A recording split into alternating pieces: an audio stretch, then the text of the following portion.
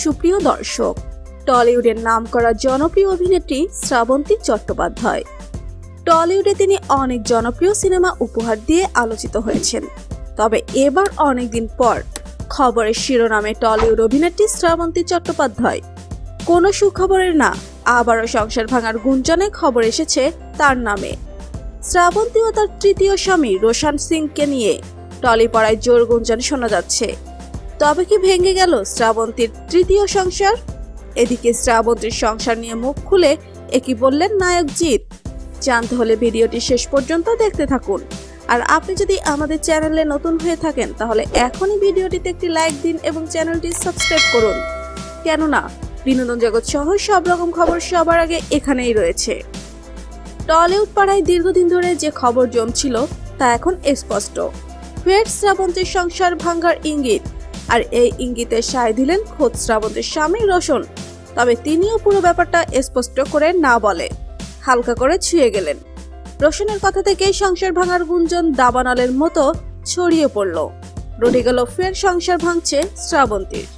কলকাতার জনপ্রিয় এক সংবাদ মাধ্যম জানিয়েছে, একসঙ্গে থাকছেন না শ্রাবন্তী ও রোশন সিং। সেই কথা স্বীকারও করেছেন দুজন। শ্রাবন্তীর স্বামী রোশন সিং তাদের সংসার ভাঙনের বিষয়ে জানিয়েছেন। হ্যাঁ আমরা এখন একই ছাদের নিচে থাকছি না। তবে আমাদের অতীতের সম্পর্কের প্রতি শ্রদ্ধা জানাই। আমি এ বিষয়ে কথা বলতে রাজি নই। এ প্রসঙ্গে শ্রাবন্তীর বক্তব্য, প্রতিটি বিবাহ বা সম্পর্ক উত্থান পতনের মধ্যে দিয়ে যায়। হতে পারে আমাদের সুখের সময় আপাতত শেষ। তবে এর অর্থ এই নয় যে আমাদের মধ্যে সবকিছু শেষ হয়ে গেছে। আমরা দুজনই আশা করি, শিগগিরই আমাদের সমস্যাগুলোর সমাধান হবে এবং বিষয়গুলো খুঁজে আমরা আবার শুরু করব। এদিকে শ্রাবন্তীর সংসার ভাঙার খবর নিয়ে নায়ক জিৎ বলেন শ্রাবন্তীর তৃতীয় বিয়ের ভাঙ্গন সম্পর্কে আমি শুনেছি। বিয়ে একটা মানুষের জীবনের একান্তই ব্যক্তিগত ব্যাপার।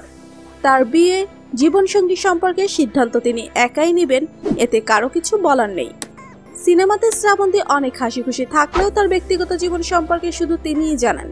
তাই আমাদের উচিত শ্রাবন্তীর ব্যক্তিগত জীবন নিয়ে সমালোচনা না করে তাকে তার মতো থাকতে দেওয়া।